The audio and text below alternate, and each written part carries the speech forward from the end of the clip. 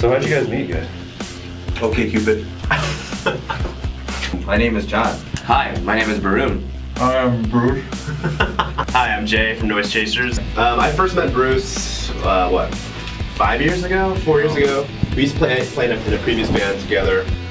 And then I met John and Baroon through playing at another band at, at, a, at a church that we would sometimes uh, do music at. When this collaboration opportunity came up and just kind of thinking about trying to do music together, and it kind of made sense to kind of get a meeting of the minds of us four uh, in one room. And actually, it's been good. Uh, there's a good natural rapport. Just alright. So,